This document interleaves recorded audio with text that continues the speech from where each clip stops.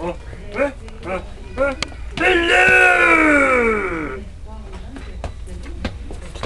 Oh!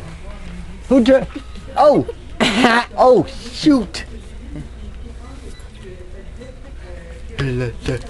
Hold on, let's try something else. I want let's try something. When you come down to my country, you'll be hell to pay. I say, citizen, I say. The lighting in here. Have you ever seen a pirate ship?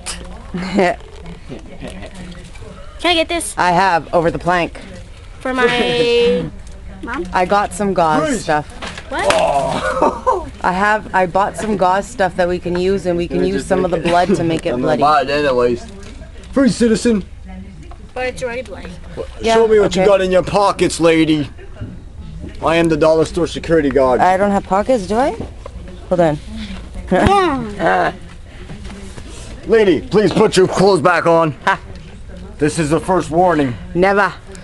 Now I must go. Aren't you embarrassed yet? No. How come no one's ever embarrassed about me?